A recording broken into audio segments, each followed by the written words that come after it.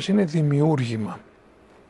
Ο χρόνος είναι κάτι που δεν αφορά οπωσδήποτε το όντως είναι. Το όντως όν στη θεολογία είναι άχρονο.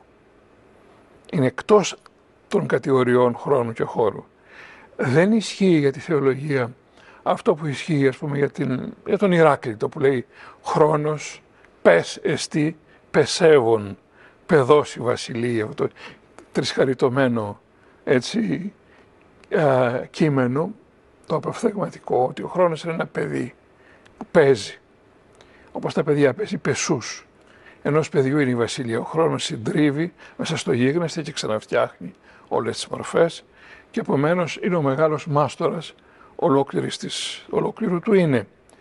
Στη θεολογία αυτό δεν συμβαίνει, στην Ιουδεο χριστιανική παράδοση. Καταλάβατε, εδώ έχουμε μια τομή ανάμεσα σε αυτό που ονομάζουμε κτιστό, που είναι ο κόσμος, και αυτό που είναι το άκτιστο. Το άκτιστο δεν μοιάζει σε τίποτε με το κτιστό, παρά το ότι εκφράζεται πολλές φορές μέσω του κτιστού και καλεί και το κτιστό στην ύπαρξη. Αλλά το πολύ σημαντικό είναι ότι οι κατηγορίες που ισχύουν για το κτιστό, η βασική είναι το χωρο, ο χωροχρόνος, δεν ισχύει για το άκτιστο. Και εδώ ακριβώς είναι και ένα είδος, ας το πω έτσι, ιδιαιτερότητας για το ανθρώπινο πλάσμα, το οποίο λέει ότι είναι κατ' εικόνα του Θεού. Φανταστείτε ότι είναι ένα έγχρονον που είναι εικόνα ενός αχρόνου όντως.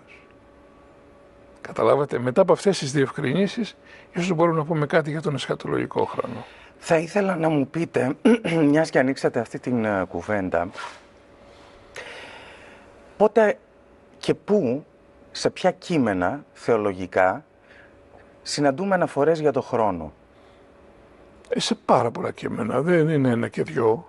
Α, φανταστείτε όμως, εγώ θα διάλεγα δύο κεφαλαιόδια, ε, αυτά του Αυγουστίνου α, και του Μεγάλου Βασιλείου. Αυτό τα πέθα στην ερμηνευτική, στην εξαήμερο και το Γρηγορείο Νήσης.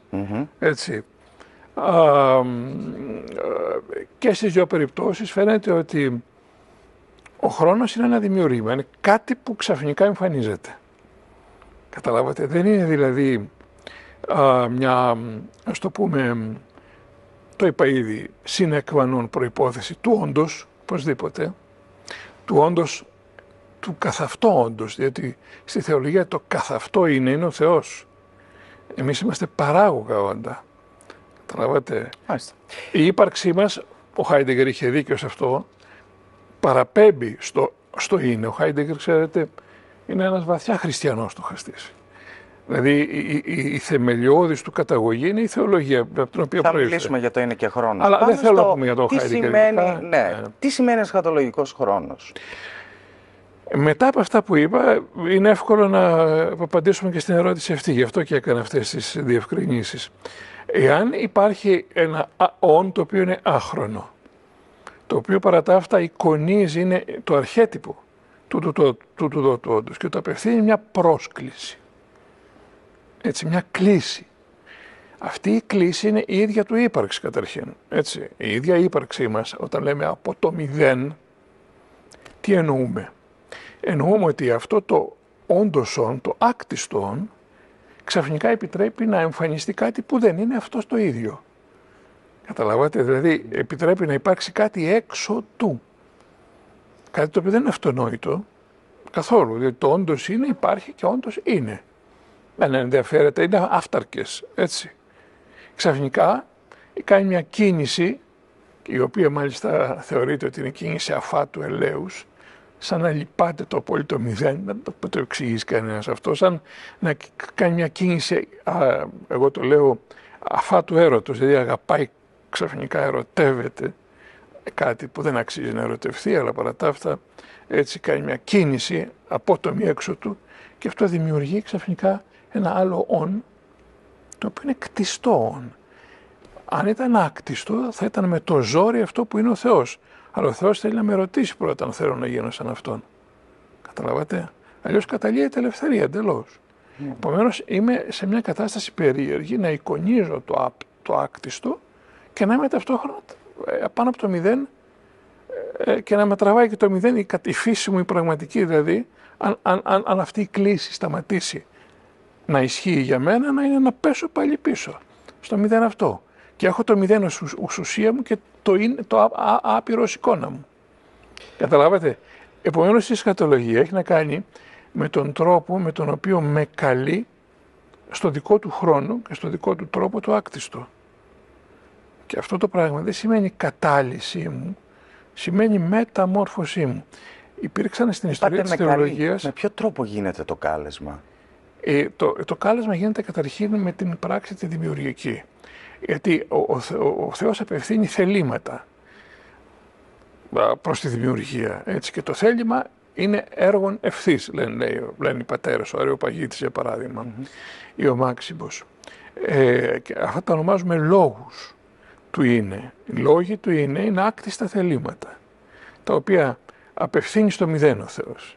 Και το αποτέλεσμα είναι να βλαστάνει ένα νέο όν, το οποίο έχει και αυτό λόγον, όντας εικόνα του αιωνίου και α, διαλέγεται ή αντιλέγει, έτσι. Ε, γιατί πραγματικά έχει μια πλέον ε, κοινωνία η οποία είναι κοινωνία μεταξύ δύο συγγενών όντων, συγγενών λόγω της εικόνος, όχι οντολογικά συγγενών. Καταλάβατε, συγγενών; Οντολογικά καθόλου. Οντολογικά μόνο με τον έμεσο τρόπο αυτό της κλίσης. Η εσχατολογία είναι ένα πολύ βαρύ πράγμα. Μπορούμε να το ερευνεύσουμε με διαφόρους τρόπους και στη θεολογία ερευνεύτηκε με διαφόρους τρόπους.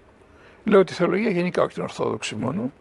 Μια ομάδα θεολόγων το είπαν, είπαν ότι είναι αυτό το πράγμα κάτι που ισχύει όταν τελειώσει αυτό ο κόσμος.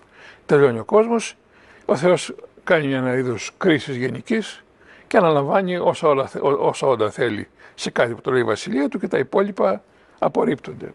Στα εξών συνετέ. Στα εξών συνετέ. Λοιπόν, υπάρχει μια άλλη άποψη που θεωρεί την εσχατολογία του Μπούλτμαν, ας πούμε, που έχει σχέση και με τον Χάιντιγκερ Μπούλτμαν, ως υπαρξιακή αυθεντικότητα στο τώρα. Δηλαδή, δεν ξέρω τι θα γίνει στα έσκατα, δεν ξέρω αν υπάρχει καν μετά θάνατο ζωή. Χριστιανός είναι τα αυτά παρά τα αυτά Μπούλτμαν. Αλλά δεν, δεν, δεν κάθεται να το σκεφτεί έτσι. Λέει απλώς και μόνο μια αυθεντικότητα μέσα στον νυν. Να είμαι αυθεντικός με την έννοια της χαϊντεγκερινή αυθεντικότητας, δηλαδή να είμαι πάρα πολύ σοβαρός με τα κριτήρια και τις προτάσεις της αυτό, να πράττω το αγαθό σε κάθε φάση και ότι θα κάνει ο Θεός είναι δικό του θέμα. Υπάρχει και μια τρίτη, κατά την ταπεινή μου γνώμη, το έχω παρουσιάσει σε ένα βιβλίο μου που είναι στα αγγλικά. Α, μια τρίτη εκδοχή που την ονομάζω οντολογική εσχατολογία. Οντολογική εσχατολογία είναι αυτές οι εισβολές του ακτίστου μέσα στο κτιστό. Καταρχήν, με την πράξη της δημιουργίας και στη συνέχεια με την πρόνοια και την κρίση του Θεού, η οποία επεμβαίνει κατά καιρούς με έκτακτα γεγονότα και με έκτακτες κλήσεις όχι για να καταστρέψει τη φύση του κόσμου, αλλά για να την μεταμορφώσει έτσι, ούτως ώστε να αλλάξει, όπως λέμε στη θεολογία, ο τρόπος της υπάρξεως, όχι η ουσία. Mm. Και το εξηγεί αυτό ο Άγιος Μάξιμος ως εξής. Όταν λέμε, λέει, δεν αλλάζει η ουσία, αλλά ο τρόπος της υπάρξεως, εννοούμε το εξής, ότι η ουσία των όντων, επειδή την έχει φτιάξει ο Θεός κατ' ευδοκίαν και από αγάπη, δεν θέλει την αλλάξει. Θέλει όμως να αλλάξει τον τρόπο με τον οποίο αυτή η ουσία είναι και επομένως να της δώσει τη δυνατότητα ενεργήν και ενεργήστε υπέρ των αυτής θεσμών. Να ενεργεί πέρα από τα ωριά της και να ενεργείται πέρα από τα ωριά της. Έτσι. Και εικόνα αυτού του, του γεγονότος είναι το ίδιο του γεγονός του Χριστού που για την Εκκλησία είναι ένα διφιέσον. Είναι ο Θεός όλος, είναι ο άνθρωπος όλος σε μια τέτοια κλητική σχέση, όπου καλείται η ανθρώπινη φύση να μετάσχει σε όλα τα της θεότητας, τα οποία είναι τα θαύματα που γίνονται, η Ανάσταση των νεκρών, η τελική Ανάσταση η δική του, η μεταμόρφωση στο όρο Σταβόρ κλπ. κλπ. Καταλάβατε; Δηλαδή, ο, ολόκληρος, ο, ολόκληρος ο χριστιανισμός στέκεται πάνω σε αυτή την πιθανότητα του κτιστό να αρχίσει να υπάρχει με τον τρόπο του ακτίστου. Αυτό αρχίζει από τώρα. Όταν ακούτε ο τάδε Άγιος και ότι δεν είναι Άγιος και έκανε το θαύμα. Σε τι συνίσταται ο Άγιος τάδε και ο Άγιος τάδε. Τι είπατε. Για αυτό το ενέργημα, σε τι συνίσταται η δυσκολία; Η δυσκολία συνίσταται στο, στην αυτοειδωλοποίηση του εαυτού, στην περιεκτικό ναρκισισμό. Πάντα ο ναρκισισμός είναι το πρόβλημα στον άνθρωπο.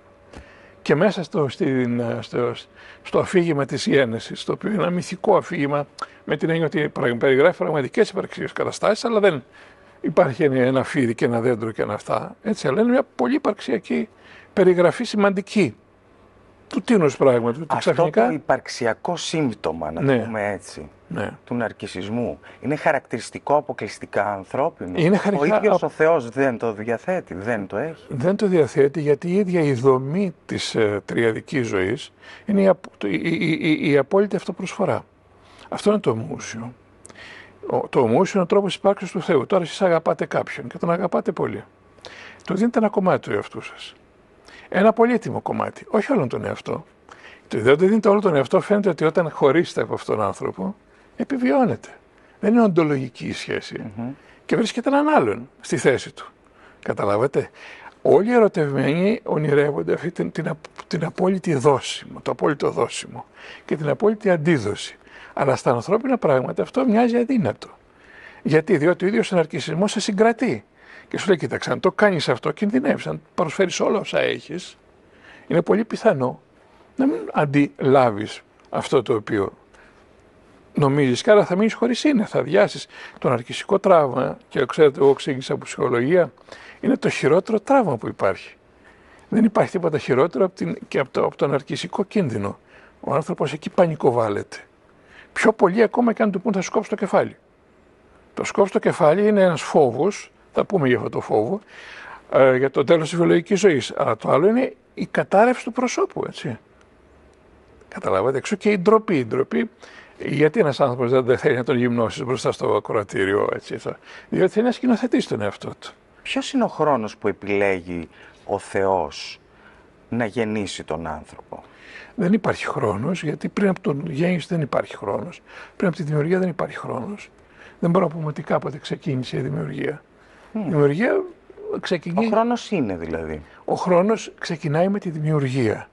Άρα πριν τη δημιουργία δεν υπάρχει η έννοια του πότε. Δηλαδή είναι κάτι που- στο οποίο δεν μπορούμε να απαντήσουμε. Μέσα στον αιωνιότητα. μετά- Και πάλι η αιωνιότητα είναι μια έννοια συνδεδεμένη με τον χρόνο. Γι' αυτό οι πατέρες, ο Μέγας Βασίλειος για παράδειγμα, μιλώντας για το Θεό, δεν τους φτάνει η έννοια του αιωνίου. Γιατί η έννοια του αιωνίου είναι μια διάρκεια μέσα στον χρόνο και αυτό είναι παραπλανητική έννοια. Είναι κάτι που το αντιλαμβάνομαι εγώ ως πεπερασμένη ύπαρξη, έτσι, τοποθετώντας την πε- το πεπερασμένο μου σε μία, σαν, εκ- σαν εκθέτη α και πα- παράγεται η αιωνιότητα, η οποία είναι μια έννοια ε, που, που δεν είναι πολύ, πολύ ε, πώς το λένε, μ, α, εύλογα σε μερικούς προξενεί απορία και προξενεί και φρίκη. Καταλάβατε; Είναι τρομακτικό. Είναι τρομακτικό σε μια πλατφόρμα έξω από το χρόνος. Λοιπόν, γι' αυτό ο Μέγας Βασίλειος στην έννοια του Θεού χρησιμοποιεί τη λέξη αίδιος. Να φανταστούμε αν ο Θεός, έχω εδώ ένα, επιτρέψτε μου, ένα μπουκάλι εδώ το οποιο θα παρουσιάσω. Ο κόσμος είναι τούτο εδώ το, χωρο, το πράγμα και εδώ μέσα υπάρχει ο χωροχρόνος. Ο Θεός είναι απ' έξω. Αν μπορούμε να το πούμε έτσι, καταλάβατε. Γι' αυτό αυτό που εδώ είναι διαδοχικό ή το Θεό είναι ταυτόχρονο, αν το πούμε έτσι. Γι' αυτό ο Θεός λέμε ξέρει τα επόμενα. Δεν τα προορίζει όμως, λέει ο Δαμασκηνός. Καταλάβατε, στέκεται απ' έξω και γι' αυτό δεν υπάρχει το ταυτό, η, η, η μεταβολή. Σε εμάς ο χρόνος συνδεδεμένο με τη μεταβολή, είτε ψυχική μεταβολή, είτε κινήσεως μεταβολή, είτε οτιδήποτε μεταβολή. Θα πούμε για το σώμα και την ψυχή σε λίγο. Για το Θεό αυτό δεν υπάρχει. Γι' αυτό και λέμε ότι προγνωρίζει, αλλού προορίζει. Αν θέλετε, προορίζει, λέει, ανάλογα με την προαίρεσή μας, τα ούκ εφημίν. Μερικά από αυτά τα πράγματα που θα συμβούν τα προορίζει κιόλας. Γενικά όμως τα προγνωρίζει όλα χωρίς να τα προορίζει, γιατί είναι εκ- εξωχρονική ύπαρξη εντελώς. Είναι μια άκτιστη ύπαρξη.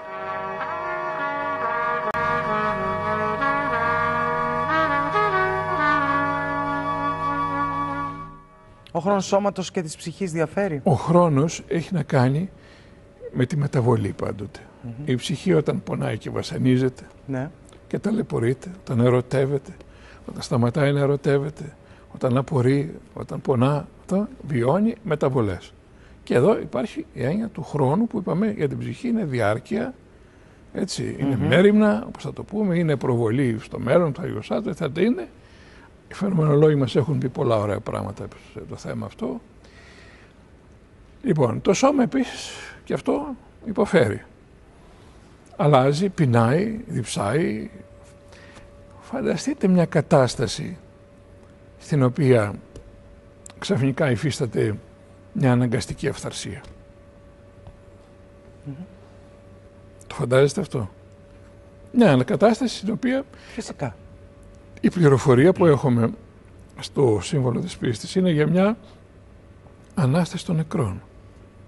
Η Ανάσταση των νεκρών είναι μια κατάσταση στην οποία ουσιαστικά σταματάει η διαδικασία της αυθαρσίας. Λοιπόν, τι έννοια του χρόνου μπορεί να υπάρχει τότε; Η έννοια του χρόνου στην περίπτωση αυτή, καταλάβατε, μεταβάλλεται άρδιν. Μεταβάλλεται όμως λόγω της μεταβολής της οντολογικής του όντως. Δεν μεταβάλλεται επειδή, ναι, τι θέλετε; Αυτό το οποίο θέλω να ρωτήσω είναι το εξής.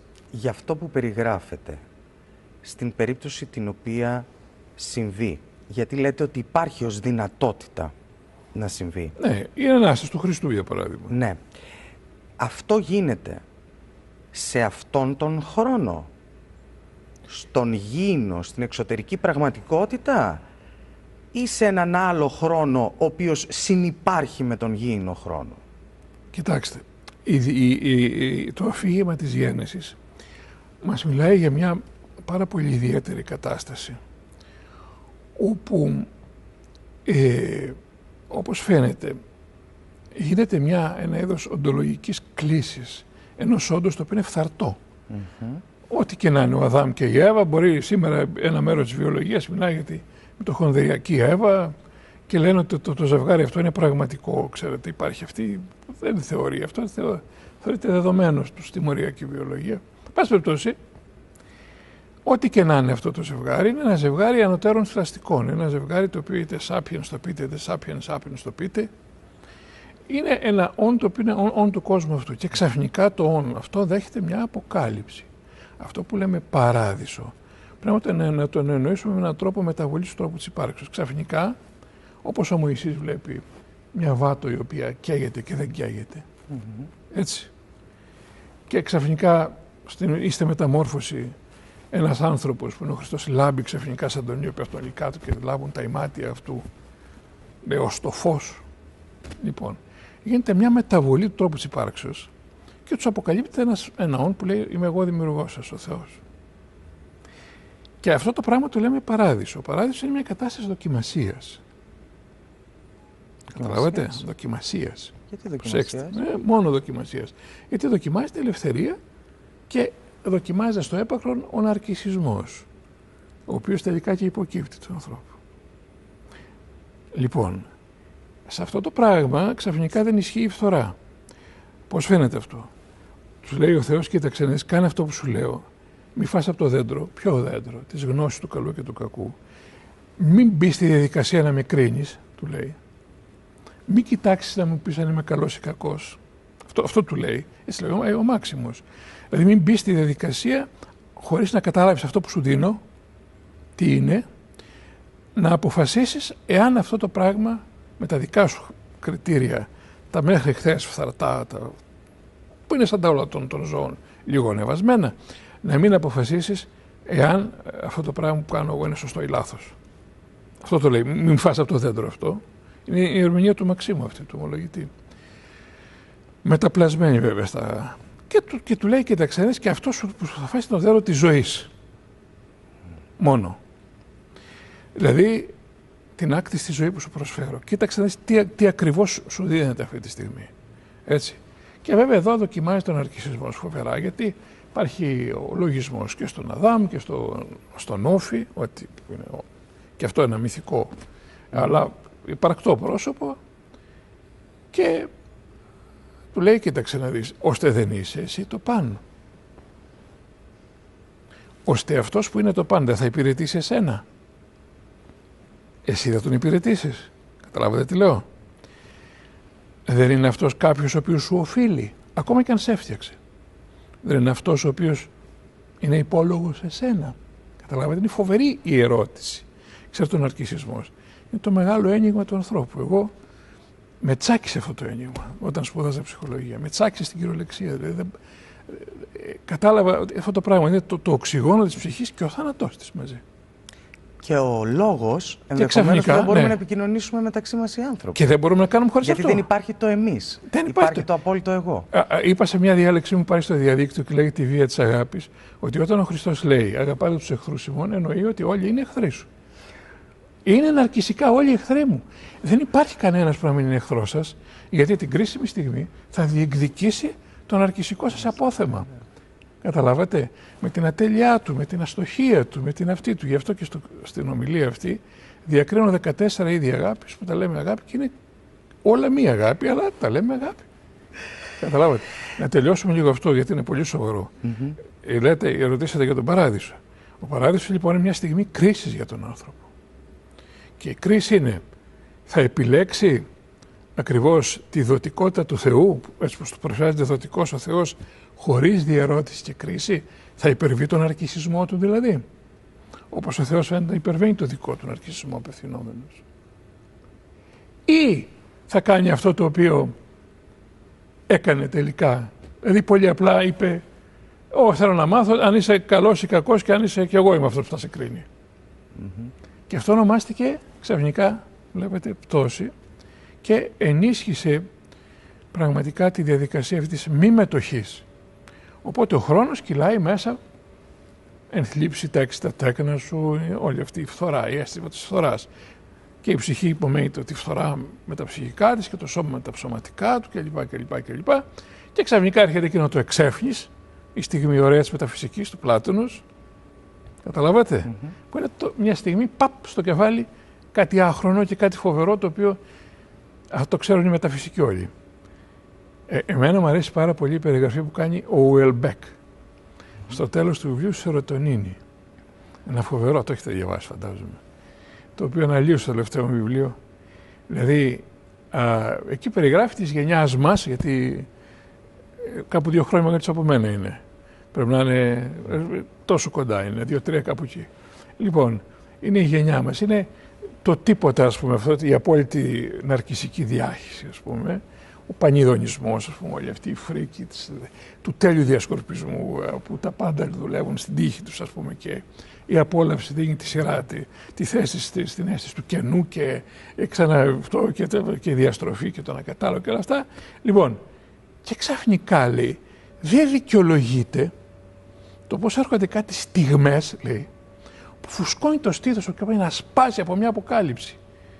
Έτσι, και, και ξαφνικά όλα είναι προσφυλή και όλα είναι αγαπημένα και κάποιος νιώθει ότι σε αγαπάει και σου απευθύνεται. Και αυτό το πράγμα λέει είναι συγκλονιστικό γιατί κόβει την ιστορία. Είναι αυτό που είπε ο Πλάτων εξέφνης. Mm-hmm. λέει, εμφανίζεται το πράγμα αυτό που δεν υπάρχει όνομα λέει. Και δεν έχω γράψει τίποτα ποτέ γι' αυτό. Και ούτε θα γράψω ποτέ. Ε, δεν μπορεί να γράψει κανείς τίποτα γι' αυτό. Και έρχεται και λέει αυτή τη φοβερή κουβέντα, αυτό, αυτή η φλόγα, αυτό, αυτή, αυτή, αυτή είναι ήδη τρέφει. Τρέφει μόνο τον εαυτό της λέει σε μένα, μέσα της. Και ο, ο φιλόσοφος γίνεται, γίνεται φιλόσοφος και τη στιγμή. Αυτό είναι η μεταφυσική. Ό,τι και να είναι, όσο και να φτάσει. Και αυτό είναι και το πολυτιμότερο στοιχείο της φιλοσοφίας. Αλλιώς η φιλοσοφία θα κάνει οργάνωση ενιών, καταλάβατε θα γίνει η φιλοσοφία της γλώσσας, θα γίνει μια προσπάθεια να βγάλουμε μια ηθική από εκεί που δεν βγαίνει ηθική. Ιστορία πάντως. Και λοιπά. Θα γίνουν τόσα πράγματα. Αλλά ε, το κέντρο, αυτό που γέννησε τη φιλοσοφία, ο Χάιντεγκερ είχε δίκιο σε αυτό. Είναι, δεν καταλαβαίνω γιατί ο Χάιντεγκερ βέβαια διακρίνει τόσο τον Ηράκλειτο από τον Χάιντεγκερ, γιατί ο, ο Ηράκλειτος από τον από το Μπλάτον, ο Ηράκλειτος είναι κάποιος που ακόμα περισσότερο μιλάει για το λόγο με όρους υπαρξιακούς. Και μόνο του λόγου ακούσαντας ακούω το λόγο ή το έπεσθε το κοινό να ακολουθούμε, δηλαδή μια καθαρά υπαρξιακή σχέση, όχι διανοητική. Αυτή είναι η μήτρα της φιλοσοφίας. Αν την πάρεις αυτή τη μήτρα από τη μέση, έτσι, που είναι πολύ κοντά στη θεολογία, δεν, δεν, διαφέρει. Εγώ το διαβάζω ως, ως πολύ μεγάλο θεολόγο τον Ηράκλειτο, ας πούμε, παράδειγμα. Είναι μια ανεξελίξη διαδικασία αυτή, έτσι όπως μας την περιγράφετε. Δηλαδή, η προσπάθεια του Θεού να νικήσει ο άνθρωπος τον αρκισισμό του και να του δοθεί ανεβόρον. Και ακριβώς αυτό απαντάει κοινωνία. ο Χριστός ως πρόσωπο, ως δράση. Ωραία. Ε, Αυτό έχει αρχή, μέση και τέλος. Φυσικά. Είναι ακριβώς, η- θα έλεγε κανείς ότι είναι, γι' αυτό βλέ- μιλάνε για την ιστορία της σωτηρίας, ειδικά οι προτεστάντες θεολόγοι και αυτό έχει μια, δηλαδή η ιστορία είναι και η ιστορία της σωτηρίας. Υπάρχει ένα σημείο α και ένα σημείο ω και πορευόμαστε προσπαθώντας να καταλάβουμε τι ακριβώς είναι η πρόταση του Θεού, την οποία παρουσιάζει explicitly ας πούμε ο χριστος την παρουσιάζει τι- τι- ως πρόταση η οποία είναι μια αντιναρκησική ουσιαστικά προ- μεταβάλλει όπως λένε οι πατέρες δείχνει η πτώση του ανθρώπου είναι η πτώση της προαιρέσεως και μετά ακολουθεί η πτώση της φύσεως. Γιατί θα μπορούσε να, ο άνθρωπος αν μείνει στην κατάσταση του παραδείσου να μην γνωρίζει φθορά. Δηλαδή να ήταν απευθείας μετοχή, ακολουθώντας την πρόταση του Θεού, να μην υπάρξει η διαδικασία της πτώσης καθόλου, έτσι, και να υπάρξει απευθείας μια φθαρτοποίηση, μια θεοποίηση κατά χάρη. Ο Κίρκεγκορ μιλάει για την εναιώνια στιγμή.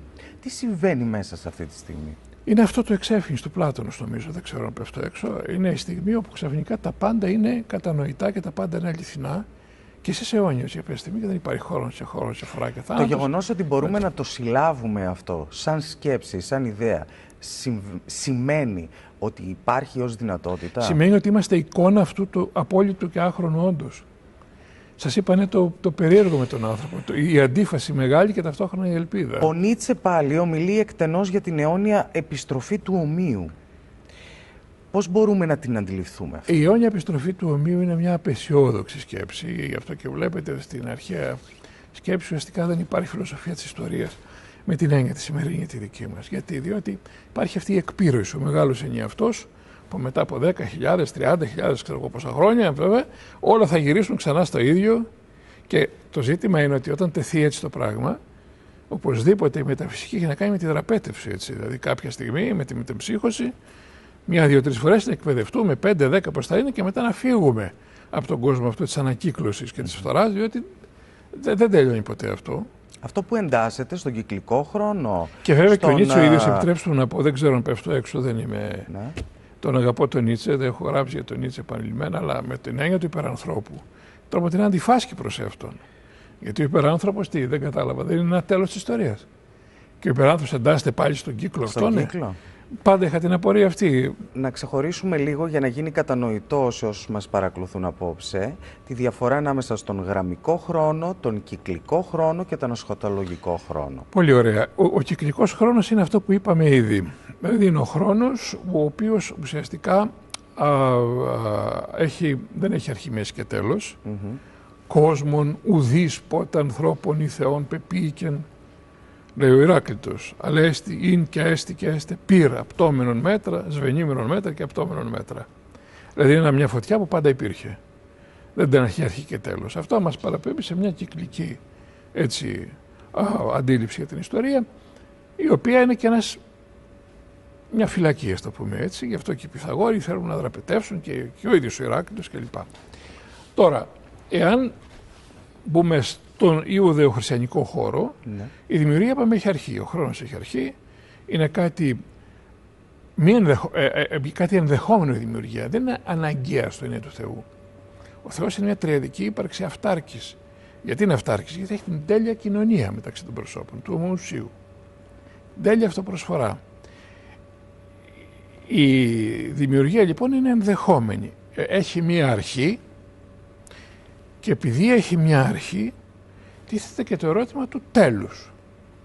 Το οποίο τέλος αυτό στην, προ- στη Βουλή του Θεού θα είναι μεταμόρφωση της δημιουργίας. Δεν θα είναι τέλος. Με την Θα είναι έννοια- μια νέα αρχή. θα είναι μια ουσιαστικά νέα αρχή, αλλά η οποία νέα αρχή θα έχει ε, εξαλείψει το πρόβλημα της τελικής προαιρετικής εκ- επιλογής. Στην ιστορία γίνεται η επιλογή που κάνει προαίρεση και στο τέλος επισφραγίζεται η προαίρεση. Και με την Ανάσταση λαμβάνουμε την πληροφορία ότι η, το τέλος αυτό θα είναι μια αυθαρτοποίηση. Αλλά αυτή η αυθαρτοποίηση θα είναι ανάλογη από την προαίρεση.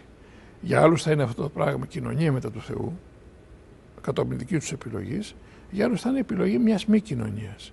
Αυτό σημαντικά το λέμε κόλαση και παράδεισο. Γιατί; Γιατί στη μια περίπτωση όσοι κοινωνούν μετά του Θεού, ακολουθώντας τον Χριστό, έχουν σταυρικά απεκδηθεί από τον αρκισισμό τους Ναι. και αγαπούν τον εχθρό, τον άλλο δηλαδή, πράγματι όπως είναι, Ενώ οι άλλοι δεν έχουν αποκριθεί τον αρκισισμό, επομένως είναι μια σύναξη υπερ φοβερών αρκίσεων. Αυτό είναι κόλαση και το καταλαβαίνουμε σήμερα πολύ καλά. Αναρωτιέται Δεν την κάνει, δεν την κάνει ο Θεός όμως. Ακούγοντας αυτή τη συλλογιστική, αναρωτιέται ναι. κανείς για ποιο λόγο ο Θεός θέλησε το δημιούργημά του να περάσει αυτό το δράμα. Και μέσα σε αυτό το δράμα, όπως λέει ο Ανρίκο Μπεν στον ουρανό, γιατί ο ίδιος θεωρεί ότι στον ουρανό ναι. συμβαίνει και αυτή τη στιγμή που μιλούμε ναι, ναι. ένα δράμα. Δηλαδή ο Θεός αναμετριέται με τον εαυτό του στην ουσία, ε. έχοντας δημιουργήσει πρόβλημα ο ίδιος στον εαυτό του και προσπαθεί να το λύσει.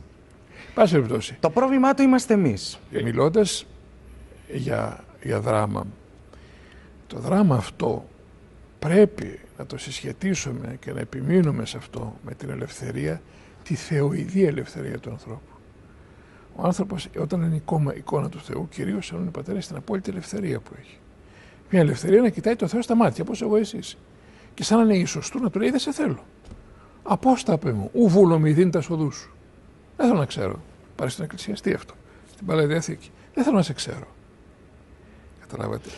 Προσπαθώ δηλαδή, να καταλάβω, υπάρχει... πατέρα Νικόλα, διότι να, το, ο Θεός, να, να, το, να το πάρω αλλιώς. αν γέννησε, Φανταστείτε αν δημιούργησε ότι τον άνθρωπο, έχει δημιουργήσει και αγγέλους σύμφωνα ακούστε, με την ακούστε. θεολογία. Κατά συνέπεια, τι γίνεται εκεί πέρα; Υπάρχει δυνατότητα να, να γεννάει φως, να, γελά, να γεννάει τάξεις αγγέλων, να γεννάει ανθρώπους, να γεννάει διαφορετικά είδη δηλαδή, τα οποία σε τάξεις προσπαθούν να χωροταξηθούν και το καθένα έχει τη δική του αδυναμία. Τη δική του διαφορετικότητα επίσης. Ναι. Τι γίνεται, όλα όμως είναι δημιουργήματα του ίδιου Θεού. Να σας, Άρα κομμάτια να σας του εαυτού μια, του. Να σας πω μια άλλη ιστορία. Γι' αυτό μιλώ για δράμα. Να σας πω μια άλλη ιστορία που εξηγεί αυτό το δράμα καλύτερα. Ας πούμε έγινε η Ανάσταση του, του Χριστού έτσι οι μαθητές οι οποίοι είναι απογοητευμένοι, τρομαγμένοι, ψαράδες, αφιλοσόφητοι, ανέτοιμοι εντελώς να κάνουν φιλοσοφική σχολή, ανέτοιμοι και αγράμματοι εντελώς να μιλήσουν για οτιδήποτε που αφορά το όντως είναι κλπ. κλπ. Ξαφνικά βλέπουν τον αυτό που ε, τσακατεύτηκε, έχισε το αίμα του, πέθανε, το κομματιάστηκε κλπ. μπροστά τους και τους λέει, όπως σας είπα, εγώ είμαι αυτός και λοιπά και θα καταλάβετε τώρα ποιος είμαι και λοιπά και λοιπά. Και αξίφθηκε και γίνονται μάρτυρές του. Έτσι. Και φωνάζουν και ορίονται ως απλοί άνθρωποι ότι αυτός ανέστη. Και τους σκοτώνουν γι' αυτό και λένε εντάξει, έτσι είναι. Αν ήταν φιλόσοφοι και πλατωνικοί και δεν ξέρω και Πυθαγόροι, θα, εγώ δεν θα τους πίστευα. Αλλά είναι τελείως άσχετοι και διαλέγονται για να, ως άσχετοι εντελώς. Πάση περιπτώσει, φανταστείτε ότι 40 μέρες λέει τον βλέπουν και τρώνε και το κοιτάνε μαζί του και του και αυτό και λοιπά και υπάρχει μαζί τους. Και μετά γίνεται η ανάληψη. Λέω καμιά φορά στους φοιτητές μου, φανταστείτε η ανάληψη αυτή να μην γινόταν. Αντιστρέφω, προσπαθώ να απαντήσω την ερώτησή σας για την έννοια του δράματος. Η, αυτή, η ανάληψη δεν γίνεται. Και ξαφνικά έχουμε ένα όν το οποίο λέει, κοιτάξτε, με φωνεύσατε, ναι. Το είδατε ότι πέθανα, το είδαμε. Το βλέπετε ότι ζω, το βλέπουμε. Το βλέπετε ότι ζω χωρίς έχω ανάγκη τροφής. Καν. Και άμα θέλω μονάχα να δοκιμάζω κάτι για να σας δείξω ότι είμαι αληθινός. Ναι. Το βλέπετε ότι περνάω από τους τοίχου και από τις πόρτες και από τα παράθυρα και, και έρχομαι όποτε θέλω και φεύγω όποτε θέλω. Ναι. Ε, λοιπόν, έτσι θα είμαι αιώνια τώρα εδώ. Είμαι ο Θεός. Που λέω ανθρώπινη μορφή. Λοιπόν, 2.000 χρόνια τώρα, τον έχεις στην Ιερουσαλήμ, κάθεται και ξέρεις ότι είναι ο Θεός. Δεν χρειάζεται ηλεκτρονικό τρόπο παρακολούθησης, διότι τα ξέρει όλα. Δεν χρειάζεται τρόπο να επέμβεις στη ζωή σου, διότι μπορεί να επέμβει σε μια στραπή με έναν άγγελο ή δεν ξέρω τι άλλο. Δεν χρειάζεται αυτό και το μόνο που έχεις να κάνεις είναι να υποδουλωθείς σε αυτόν. Σας λέω προσωπικά εγώ, ως παπάς. Γιατί πρέπει να χρησιμοποιούμε μια τόσο βίαιη λέξη, υποδουλωθείς; Αν ήταν αυτός που. και όχι αγαπήσεις. Πώς θα τον αγαπήσεις; Εκτός να τον κάνεις, χρησιμοποιηθεί ο μηχανισμός άμυνας, ο γνωστός που λέγεται ταύτιση με τον επιτιθέμενο, της κυρίας Άννας Φρόιντ τότε αγαπάς έναν κάποιον ο οποίος στην ουσία μέσα τον φθονείς και τον μισείς. Και τι με νοιάζει εμένα σαν εσύ αιώνιος και αθάνατος. Κάσκες μπάστακα στο κεφάλι μου εδώ και δεν με αφήνεις να πάρω ανάσα και με αναγκάζεις να σε τιμήσω και να... Ακούστε τι λέω τώρα. Και να σε, να, να σε λατρέψω. Δεν θα σε λατρέψω. Θα σε κοροϊδέψω, θα σε εμπέξω. Ακούτε. Και θα είμαι ο επαναστάτης θα είμαι σύμμαχος με τον διάβολο, ο οποίος έχει πάρα πολύ δίκιο ότι είσαι απέσιος και φθονερός και ότι διεκδικείς την απόλυτη εξουσία για τα πάντα. Ακούτε. Αν δεν γινόταν ανάληψη όλο αυτό. Λοιπόν, και θα σε πολεμώ με όλους τους τρόπους που μπορώ. Και, και αν τυχόν σε τελευταία ανάλυση με, με εξοντώσεις, θα το θεωρήσω μεγάλη μου τιμή. Ότι με εξόντωσες διότι είσαι γελίος. Είσαι αιώνιος, είσαι τέρα, είσαι αυτό και εγώ με ένα τίποτα. Και αντί να με εξυψώσεις το ύψος σου να παλέψω με σαν ίση, έτσι με υποδουλώνεις τώρα. Καταλάβατε τι είναι ο άνθρωπος. Ο άνθρωπος είναι το όν που μπορεί να τα κάνει όλα αυτά. Και σε αυτό είναι εικόνα Θεού. Γι' αυτό ακριβώς δεν μπορεί ο Θεός και δεν θέλει ο Θεός να επιβληθεί. Μια φορά εγώ είδα μεγάλα θαύματα στο σώμα μου και στην ύπαρξή μου από Αγίους που συνάντησα και αν πολλοί από άθεος που ήμουν να με βάλουν στην εκκλησία και με αυτό που είμαι σήμερα. Λοιπόν, μεγάλα πράγματα. Ανθρώπους οι οποίοι είδαν τις ασθένειες που, που, που είχα εκείνη τη στιγμή και θεραπεύτηκα. Ανθρώπους που ο πατήρ Πορφύριος με υποδέχτηκε απαγγέλλοντα τους τοίχου μου για πρώτη φορά. Αδημοσίευτους τοίχου. Λοιπόν, ή μου έλεγε πράγματα τα οποία δεν ήξερα, κινδύνους φοβερούς της ζωής μου που πέρασα και άλλους που έρχονται. Λοιπόν, και κάποτε μέσα στην νεανική μου, ας πούμε, αφέλεια, ρωτάω τον πατέρα Παΐσιο, γιατί δεν πάτε αυτά τα πράγματα δημόσια να τα κάνετε κάπου; Μου λέει, άκουσε να δεις. Με το χάρισμα που έχω, μπορώ να πάω σε ένα στρατόπεδο και να πω σε όλους τα σώψυχά τους και να τους πάρω με το, από το διοικητή με το, μέχρι το φρουρό της πύλης όλους μαζί μου στο Άγιον Όρος για μοναχούς. Αλλά δεν το θέλει αυτό ο Θεός. Ο Θεός θέλει το να αγαπήσεις μετά, μέσα με τέτοια προσωπική ανακάλυψη. Δεν θέλει το θάμα και αυτό είπε το Χριστό συνέχεια κάνει το θάμα και φεύγει. Μην το πείτε πουθενά αυτό που έκανα. Δεν έχουν πίστη, δεν κάνει θαύμα. Ενώ θα έπρεπε να πεις δεν έχετε πίστη, τώρα θα σας κάνω εγώ. Κατέβα από το, στραβό, από το σταυρό. Όχι, δεν κατέβαινε από το σταυρό. Θα κατέβει με τρόπο που θα, θα, θα μπορέσει να αμφισβητηθεί. Ούτως ώστε πάντοτε να ανακαλύψεις πνευματικά το τι έχει συμβεί. Μιλήσατε για την ανάλυση. Τώρα. Αυτή η πνευματική ανακάλυψη είναι συγκλονιστική. Είναι. Γιατί είναι προσωπική. Γιατί σε σώζει, καταλαβαίνεις το γιατί γίνεται αυτό. Και αυτό είναι το μεγαλείο του μηνύματος του Θεού. Δεν τον ενδιαφέρει να σε εντυπωσιάσει και να σε αρπάξει σαν γύφτος. Έλα εδώ από τη μύτη, έλα εδώ από τα αυτιά. Μας εδώ πέρα γονάτισε. Θα γονατίσεις, αλλά μέσα η ψυχή σου δεν θα γονατίσει. Και θα ψάξεις τον αληθινό Θεό, ενώπιον του Θεού. Καταλάβατε; Αυτό το πράγμα, αν το λάβει κανείς υπόψη πόσο τεράστιο είναι, καταλαβαίνει γιατί ο Θεός κάνει υπομονή με το κακό. Έτσι, κάνει υπομονή με το κακό γιατί εμφανίζονται οι προαιρέσεις και εμφανίζεται όλο το υπέροχο του ανθρώπου ολόκληρο. Η θεοίδια του, στην οποία απαντάει μετά ο ίδιος με την παρουσίασή του στη ζωή αυτή και στην αιώνια ζωή.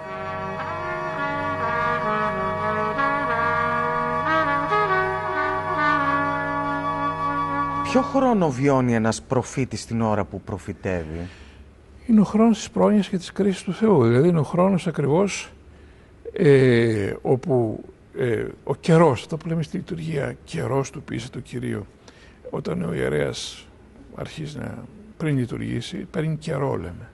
Είναι μια δική μικρή ακολουθία, στην οποία ο, ο ιερέας ετοιμάζεται να εισάγει τον κόσμο στο νυν mm-hmm. της Βασιλείας του Θεού. Αυτό που δεν απάντησα προηγουμένως, γιατί πήγαμε άλλη ερώτηση. Τι είναι ο, ο, ο, ο χρόνος της αυθαρσίας, είναι το νυν. Το νυν. Ένα νυν συνεχές. Αυτό δεν μπορούμε να το συλλάβουμε μη μόνος σπάνια στη ζωή μας. Ίσως ο μεταφυσικός στο εξέφυγε αυτό που λέμε εκείνη τη στιγμή, που λέει κάπου ο Έλιοτ, still moment of appointed light, ένα, μια οξία στιγμή, απόλυτη στιγμή, ακίνητη, ο, οξέως φωτός. Αυτό το πράγμα δεν το αντέχει ο άνθρωπος. Καταλάβατε, το τώρα αυτό. Δεν είναι δηλαδή μια, φανταστείτε την ονειότητα σε μια τεράστια διάρκεια που τρέχω από πίσω και τελειώνω και λέω φτού, τι θα κάνω πάλι αύριο και δεν έχω αύριο τι να κάνω. Είναι η κατάσταση που δεν θέλει να φύγει κανείς από αυτή. Όταν κανείς είναι απόλυτα ερωτευμένος. Ερωτευμένος πραγματικά σε μια στιγμή και νιώθει ότι βρήκε το, το, το, είναι του, ας πούμε. Θες να φύγεις από εκεί. Το τώρα αυτό. Παπ, και είναι στιγμή. Τα έχεις όλα. Αυτό είναι η αιωνιότητα. Δηλαδή δεν περιμένεις κάτι, τι θα γίνει, πώς θα γίνει. Γι' αυτό και εκεί παρουσιάζεται η βασιλεία του σαν ένα δείπνο. Δείπνο για ανθρώπους που δεν έχουν καμία ανάγκη να φάνε. Σκεφτείτε όμως ότι το δείπνο είναι κυρίως μια σχέση, δηλαδή δείπνης, επειδή σχετίζεσαι, τρέφεις τη σχέση κυρίως με το δείπνο. Σε εμά βέβαια εκπληρώνεται και η διαδικασία της τροφής γιατί είμαστε όντα φθαρτά που τρέφονται. Εκεί που δεν θα υπάρχει αυθαρσία θα τρέφεται μόνο η σχέση. Είναι ένα δείπνο το οποίο α, στην κυριολεξία είναι η ουσία του κάθε δείπνου που θα θέλαμε να έχουμε, ας πούμε, το τέλειο δείπνο, έτσι. Αλλά εδώ είναι Θεός εν μέσω Θεών. Είναι μια πραγματική παρουσία του Θεού πρόσωπο προς πρόσωπο. Είναι φοβερή κουβέντα του Παύλου. Τότε ό, ό, όλα όσα λέμε εδώ είναι σόπτρο και ενίγματι. Τότε δεν πρόσωπο προς πρόσωπο. Γιατί αυτό, Γιατί η, προ, η, η, η εν προσώπου εμφάνιση του Θεού τον άνθρωπο τον τσακίζει και τον εχμαλωτίζει, τον διαλύει. Το λέει ο Μωυσής, θέλω να σε δω, θέλω να σε δω, θέλω Μόνο τα οπίστια μου.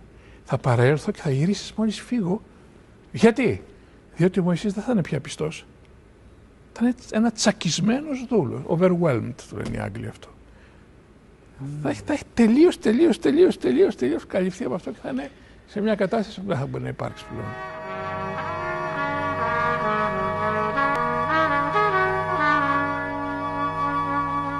Είναι δυνατόν να αισθανθούμε κάτι από την εμπειρία του χρόνου την οποία βίωνε ο Χριστός στη γη; Ναι, με τη Θεία Λειτουργία. Στη Θεία Λειτουργία γίνεται ακριβώς αυτό κάτι, ένα, ένα κατεξοχήν άχρονο γεγονός, το οποίο βέβαια το κάνει ο Χριστός κάθε φορά. Τι είναι η Θεία Λειτουργία, ξέρετε, είναι η προσφορά του Ιού η αιώνια στον Πατέρα, αλλά ως ανθρώπου πλέον. Αυτό είναι όλη η Θεία Λειτουργία. Και βάζουμε και εμείς τα δικά μας δώρα, ψωμί και κρασί που είναι η ζωή μας, και λέμε μετά βαλέτα σε αυτό το σώμα της προσφοράς σου. Σε αυτό το προσφερόμενος αιώνια στον Πατέρα σώμα, μετά βαλέτα. Και αυτά. Ένα Άγιο Πνεύμα. Και αυτό είναι η Θεία Λειτουργία. Όταν πήγα η πρώτη φορά στον πατέρα Πορφύριο, τώρα ήδη Άγιο Πορφύριο του Ροπού, Α, μου συνέβη και με τον πατέρα Παΐσιο αυτό. Θυμάμαι στον πατέρα Παΐσιο, ε, ήθελα να του πω τα, τα βάσανά μου λοιπόν και κάθισα και έγραψα ένα ολόκληρο τετράδιο, τόσο δά. Λοιπόν, και λέω σας παρακαλώ όταν πήγα θέλω να με ακούσετε γιατί έχω πολλά προβλήματα τα οποία πρέπει να σας τα πω. Ωραία, να καθίσουμε έτσι, κάθεσαι με έναν τρόπο έτσι με ένα χαριτωμένο έτσι τρόπο, με κοίταγες μισοχαμογελώντας. Άρχισε, μου λέει. Αρχίζω λοιπόν και άρχισα διάβαζα εγώ ένα, δύο, μία σελίδα, δεύτερη σελίδα, τρίτη σελίδα. Και ξαφνικά όπως διάβαζα, γυρίζω και τον κοιτάω, κοίταγε χαμογελώντας τον ουρανό έτσι πάνω.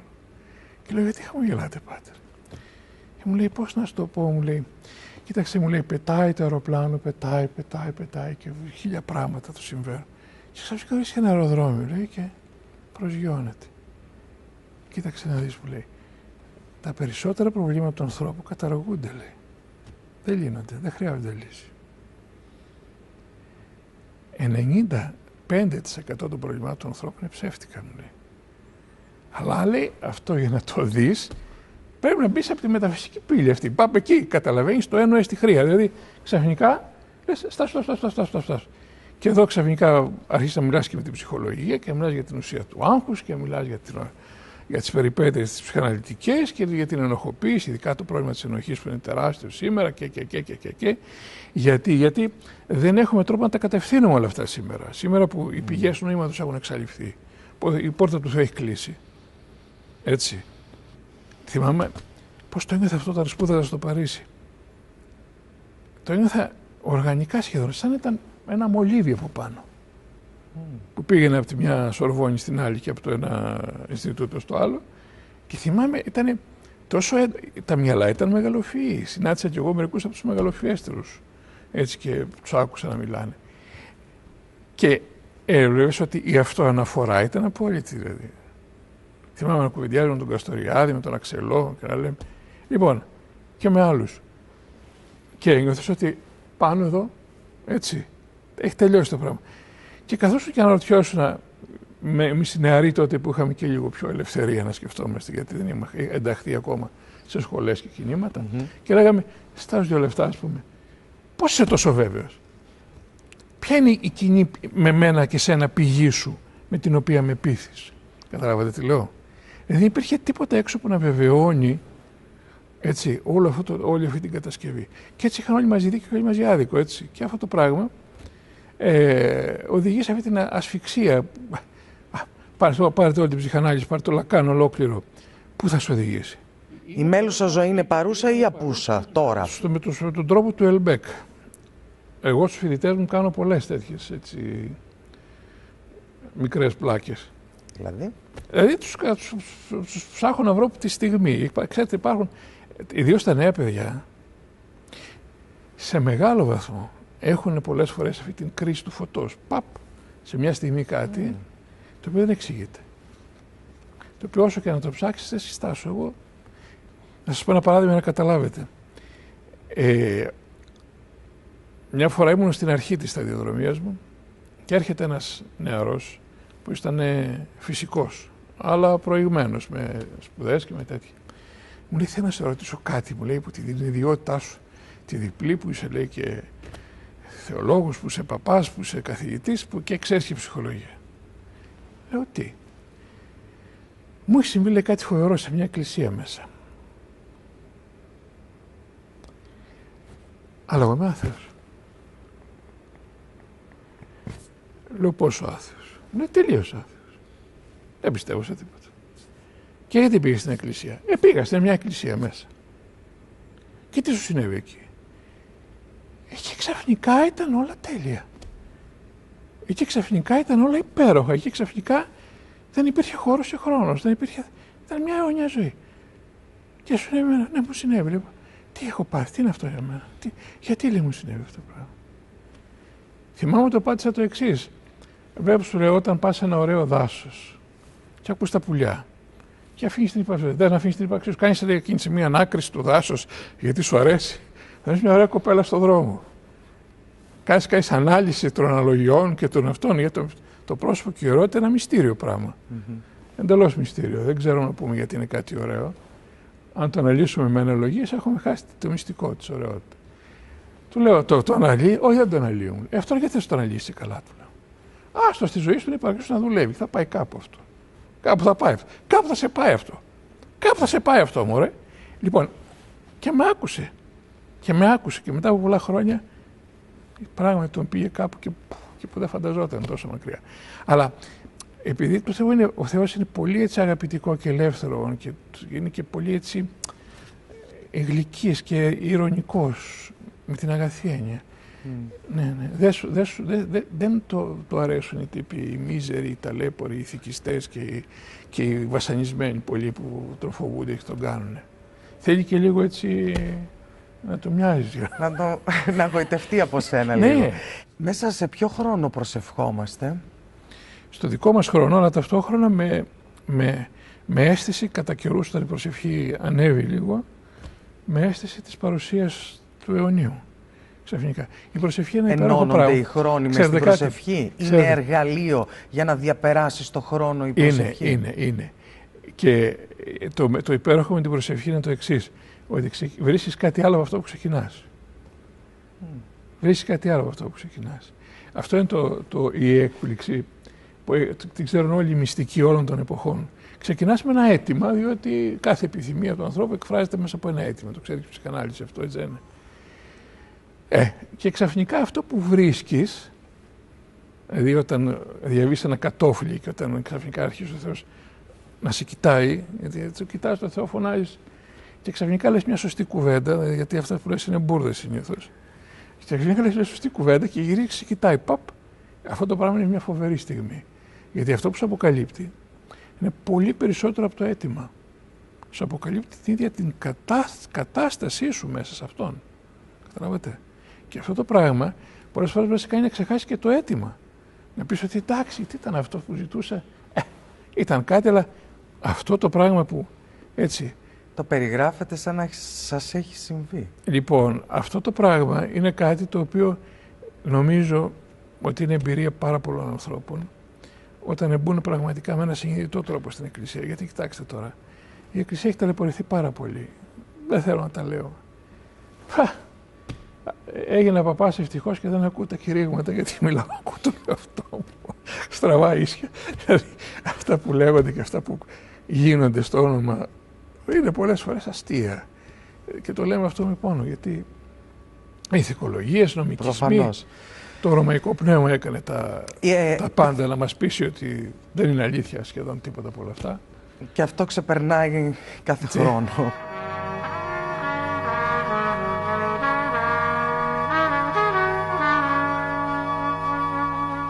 Στην περίπτωση την οποία δεχτούμε ότι υπάρχει ψυχή, η ψυχή σε τι χρόνο ζει, Μιλούμε για την εσωτερική ζωή ε, που ο καθένας μας με τον τρόπο του βιώνει ε, και η οποία διαφέρει σε χρόνο από την εξωτερική ζωή. Κοιτάξτε, καταρχήν η ψυχή τον την εξωτερικό χρόνο, με τη βιβλική παράδοση δεν είναι Θεός.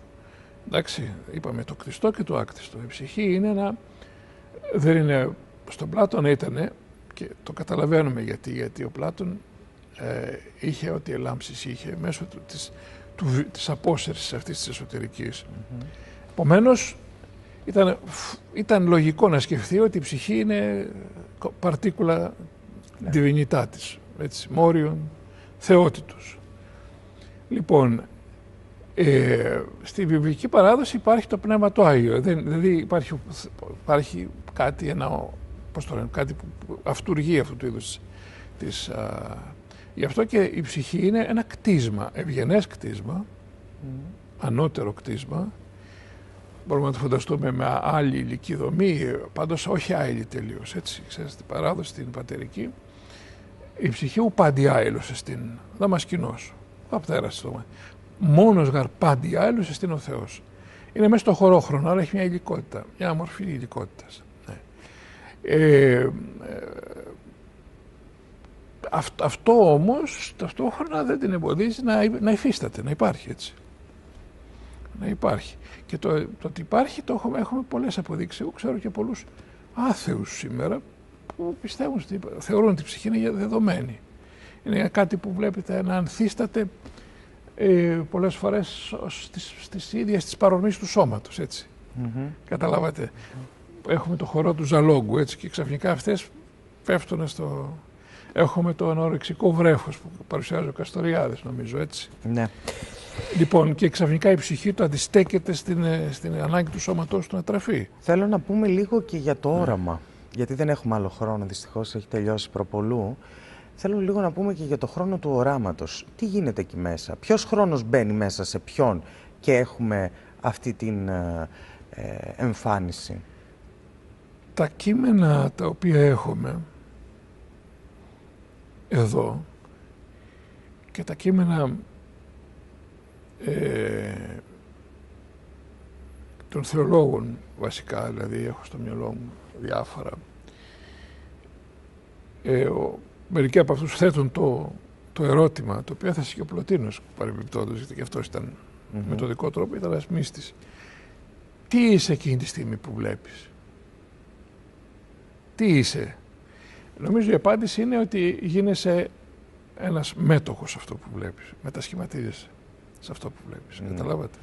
Όχι ότι χάνεις τον εαυτό σου, αλλά το λέει και ο Παύλος εκεί στο είδα άνθρωπον προετών 14 και λοιπά, είτε εκτός του σώματος ουκίδα, είτε εν σώματι ουκίδα. Δεν, δεν μπορώ να σας πω εάν ήμουν σε σώμα ή εκτός του σώματος, αλλά είδα πράγματα που δεν μπορώ να τα πω. Αυτό έχει προϋπόθεση. Η προϋπόθεση είναι από την πλευρά του Θεού και από τη δική μας βέβαια, η προαίρεση η δική μας, αλλά όχι, δεν μπορείς να αναγκάσεις το Θεό. Ο Θεός μπορεί να το κάνει και χωρίς εσύ να έχεις ετοιμαστεί για αυτό το πράγμα. Και μάλιστα Mm. Πολλές φορές αγαπάει να το κάνει έτσι για να μην νομίζεις ότι είσαι κάποιος και το προκάλεσες εσύ. Ναι. Λοιπόν, και μπορεί να δώσεις πληροφορίες στον άνθρωπο. Υπάρχουν άνθρωποι που έχουν. Εγώ γνώρισα τέτοιους, δεν μπορώ να το πω ότι. που είχαν και. Και, και ερχόταν και, και προφητεία έτσι, μου έβλεπαν πράγματα που όντως γίνανε, που μας τα είπαν πριν γίνουν. Mm-hmm. Και πράγματα τα οποία. Το θέμα είναι το εξής, να μπορέσουμε στη φοβερή αυτή εποχή που ζούμε, να αφήσουμε την πόρτα αυτή ανοιχτή, ε, θα σκάσουμε. Θα σκάσουμε, πραγματικά θα σκάσουμε. Δηλαδή σήμερα πραγματικά είμαστε σε μια εποχή, σε μια στιγμή όπου καταραίει και η ηθική και η φιλοσοφία. Καταραίει. Όποιος δεν το βλέπει αυτό, δεν ξέρω τι να πω. Ε, δεν υπάρχει τρόπος σήμερα να μιλήσουμε καθόλου πια κανονιστικά. Έστω το σοδά. Να σου πούμε, ένα μικρό παιδάκι πάει να του πεις: Κοίταξε, πρέπει, και, και τεινάζεται στον αέρα και σου Τι τα πει πρέπει. Καταλάβατε. Ναι. Ποιος, θα, ποιος θα πληροφορήσει για το αυθεντικό μας μέλλον μέσα στην αιωνιότητα; Ποιος θα μας μάθει τι όντως είμαστε; Καταλάβατε, εδώ είναι το μεγάλο ερώτημα. και το ποιος θα απαντήσει αυτό το ερώτημα. Έτσι. Αν κλείσουμε όλες τις πόρτες της μεταφυσικής, έχουμε απλά παγιδευτεί και δεν μπορεί να δικαιωθεί ο άνθρωπος τώρα της φυσεώς του. Και εδώ είναι ο θάνατος, ο φόβος του θανάτου. Φόβος του θανάτου. Γιατί, Γιατί δεν είμαστε πλασμένοι να πεθαίνουμε. Αν είσαι εικόνα ενός απείρως αιωνίου όντως, πώς μπορεί να αγαπήσεις το θάνατο; Και να λες τι ωραία θα πεθάνω.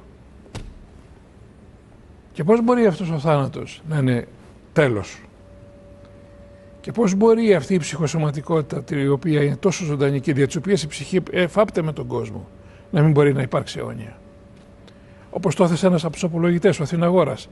Τι στα κομμάτια Θεός είναι αυτός, είπε. Δεν το πει έτσι, αλλά ε, αυτό εννοούσε. Αν τυχόν λέει δεν μπορεί να τα αναστήσει τα, τα, τη δημιουργία, να την αναστήσει και να την κάνει άφθαρτη, δύο πράγματα σημαίνουν ή ότι δεν είναι Θεός, αρκετά Θεός, ή ότι δεν έπλασε αυτό στον κόσμο. Δεύτερος και τα δύο είναι κακό. Και τα δύο διαψεύδουν την πραγματικότητα του Θεού. Έτσι. Δεν θα έπρεπε λοιπόν να μας φοβίζει το όριο του θανάτου. Με την έννοια Κοιτάξτε, αυτή που περιγράψαμε... Στην πραγματικότητα δεν υπάρχει. Είναι, το, υπάρχει αυτός, χρόνο. Ναι, υπάρχει ο τεράστιος ναρκισικός φόβος αυτός, ναι. της αυτοκατάλυσης. Αλλά εάν δει κανείς την αντίπερα όχθη, εγώ δεν την έχω δει, αλλά ε, γνώρισα ανθρώπους που την έχουν δει, αυτοί οι Άγιοι που σας είπα. Και μας μιλούσαν για πρόσωπα τα οποία ήταν συγγενικά μας. Και θέλαμε να μάθουμε. Και μας μιλούσαν και μας έλεγαν σε τι κατάσταση είναι και τι είχαν κάνει και πώς φύγαν από εδώ. Mm. Καταλάβατε. Και για αυτούς ο θάνατος ήταν αυτό. Ο Άγιος Πατήρ Παΐσος τον, τον ήξερα και το έκανα συχνά. Είχα πολύ επικοινωνία μαζί του. Όταν έφτασε η ώρα να, να, να φύγει, τον ρωτήσαμε πώς αισθάνεσαι γέροντα. Πώς αισθάνομαι λέει να σηκωθώ να χορέψω ένα τσάμικο.